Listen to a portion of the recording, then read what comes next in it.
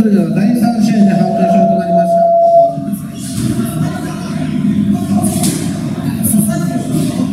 はいそれでは第3試合で判定勝となりました。宮本芽衣選手のインタビューです。おめでとうございます。ありがとうございました。試合の感想お願いします。自分を出し切ったっていうのが最初の感想ですね。今日はまあ今日もですけど試合の中で結構ガンガンいってたと思うんですけどその辺の作戦としてある感じですか？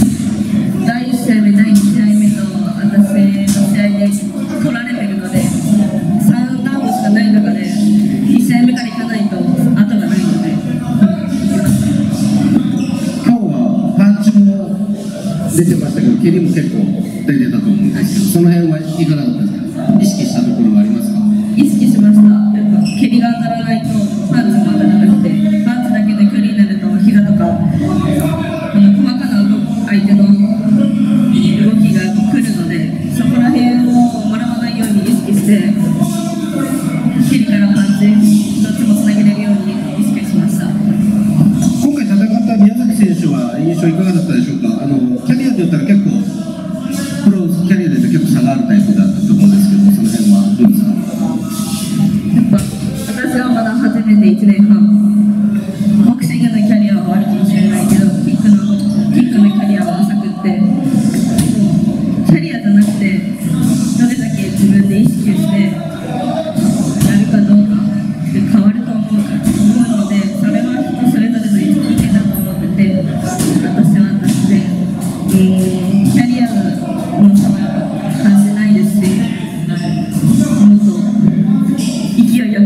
私らしくいきたいやっぱりその辺を意識せずにも自分らしさを出しそうと思って今日は行ったって感じですそうです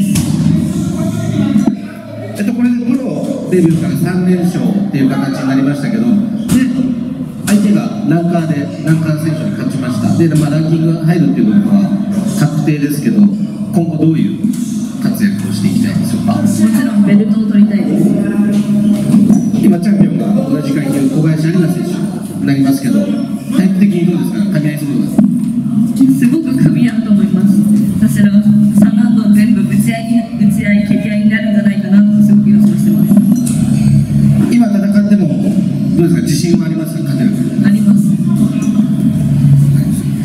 そしたらそこに向けて今後は挑戦に向けて頑張っていくという。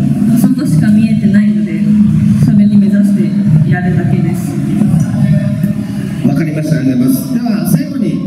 応援してくれたファンの皆様にメッセージをいただい